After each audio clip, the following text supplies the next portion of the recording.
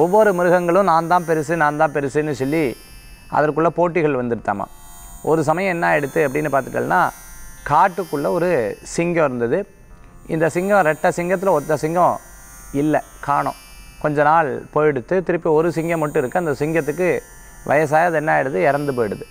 இறந்து போயிடன உடனே உடனே மற்ற மிருகங்கள்லாம் பார்த்துட்டோம்னா நான் தான் பெருசு நான் தான் பெருசு நான் தான் பெருசுன்னு சொல்லித்தான். அப்போ புலி சொல்லித்தான் நான் தான் பெருசு இதற்கு அடுத்தாப்புல நிலையில் நான் தான் இருக்கேன் அப்படின்னு சொல்லிதான். அதுக்கப்புறம் சிறுத்தை சொல்லித்தான் அதெல்லாம் இல்லை வேகமாக ஓடக்கூடியது மரத்தில் ஏறக்கூடியது எனக்கு தான் சக்தி இருக்குது அப்படின்னு சொல்லித்தான். இப்படி ஒவ்வொரு மிருகங்களும் ஒவ்வொரு விஷயத்தை சொல்லும்போது யானை சொல்லித்தான் இருக்கிறதே நான் தான் பெரிய உருவம் எனக்கு தான் நீங்கள்லாம் அடிப்படிஞ்சு போகணும் அப்படின்னு சொல்லித்தான். இப்படி ஒவ்வொருத்தரா ஒவ்வொருத்தரா ஒவ்வொருத்தரா வந்து நான் பெருசு நான் பெருசு அப்படின்னு சொல்லிகிட்டு இருக்கும்போது ஏ- அந்த இடத்துல என்ன ஆகுதுன்னா யார் இதை நிர்ணயிக்கிறது அப்படிங்கிற ஒரு அப்படிங்கிற ஒரு சந்தேகம் வந்துட்டான் அப்படி சந்தேகம் வரும்பொழுது காட்டுக்கு ராஜான்னு சொல்லக்கூடிய ஒரு மரம் இருந்தது. அந்த மரம் தான் எல்லாத்தையும் நிர்ணயிக்கணும்னு சொல்லிட்டு அந்த மரத்துக்கிட்ட எல்லாம் போய் கேட்குது. யார் இங்கே ராஜா? யார் இங்கே ராஜா?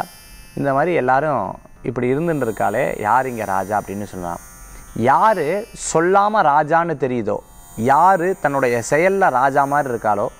யார் தன்னைத்தானே அதோடைய ஆட்டிடியூடோட கொண்டு வராங்களோ அவங்க தான் ராஜா.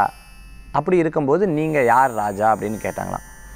உடனே எல்லாரும் யோசிச்சுட்டே இருக்கலாம். இப்போ புலி சொல்லும் பொழுது புலி சொல்லும் பொழுது சிறுத்தை வந்து அதெல்லாம் இல்லை நான் தான் அப்படின்னு சொல்லித்தான். சிறுத்தை சொல்லும்போது யானை சொல்லித்தான் ஆஹ நான் தான் அப்படின்னு தைரியமாக சொல்லித்தான்.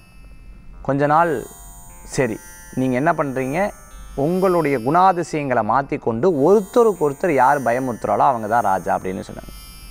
அப்போ இவங்க என்ன பண்ணுறாங்க ஒவ்வொருத்தரும் தன்னுடைய பலம் அப்படிங்கிறத காண்பிக்கிறதுக்காக என்ன பண்ணுறாங்க நிறைய விஷயங்களை செய்கிறாங்க அப்பவும் பார்த்துட்டிங்கன்னா இன்னொரு நாள் மீட்டிங் கூடுறது அப்பவும் அந்த மரத்துக்கடியில் போகும்போது ஒருத்தருக்கு ஒருத்தர் பயப்படவே கிடையாது. ஒரு ரெண்டு நிமிஷம் பொறுத்தோன்னா மரம் சொல்லித்தான் ஒரே செகண்ட் இருங்கன்னு சொன்னோடனே உள்ளே இருக்க குகையிலிருந்து ரெண்டு சிங்கம் அப்படி வந்துதான். வந்தோடனே மற்ற மிருகங்கள் எல்லாம் நகர்ந்து பின்னாடி போச்சான் பின்னாடி போன உடனே தான் தெரிஞ்சது ஆஹா ஏன் சிங்கம் காட்டுக்கு ராஜானா? அதோடைய நடை உடை பாவனை அதனுடைய முகத்தோற்றங்கள் அது தன்னைத்தானே மாற்றி கொண்ட விதங்கள். பாருங்க எந்த ஒரு மனிதன் தனக்குள்ளே அந்த ஆட்டிடியூடும் தனக்குள்ளே அந்த க்ரியேஷனும் கொண்டு வராங்களோ தானாகவே அவங்களுக்கு வந்து மதிப்பு மரியாதை ஜாஸ்தி ஆயிரும்.